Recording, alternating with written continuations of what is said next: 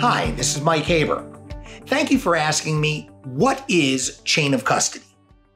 The formal definition of chain of custody is the chronological documentation or paper trail that records the sequence of custody, control, transfer, analysis, and disposition of materials, including physical or electronic evidence.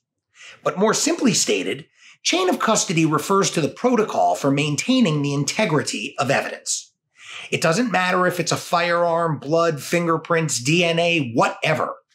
The idea is to ensure that tampering is prevented, that evidence is not mishandled, and to establish a trustworthy process so that the items can ultimately be used in a courtroom.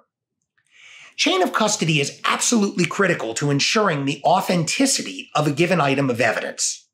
This isn't so just to prove that something tendered in a courtroom is the very same item that was seized at a crime scene.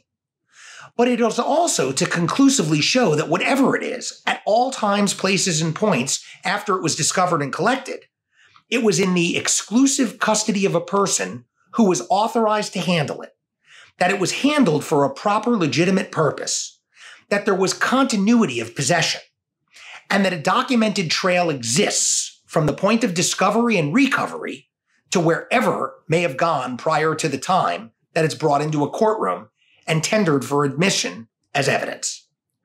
In order to establish a proper chain of custody, the evidence's life cycle must be diligently documented by each and every person who comes into contact with, much less actually handles the evidence.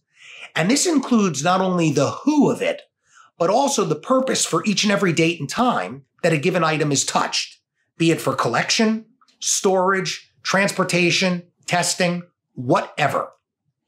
Whenever any impounded item is ultimately tendered in a courtroom, its chain of custody is always at issue.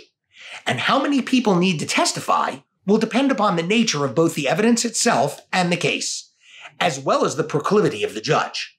Why is this so? Because, to the delight of many a prosecutor and the chagrin of many a defense lawyer, Judges are oftentimes lax in their enforcement of chain of custody objections, allowing evidence in where there's a provable breach under the guise of what's referred to as, quote, substantial compliance. That said, I thank you for your question. I appreciate your having asked it. Please remember that at Haber PA, it's all about reasonable doubt. And if you like this video, please subscribe to our YouTube channel. We'll be putting out more soon.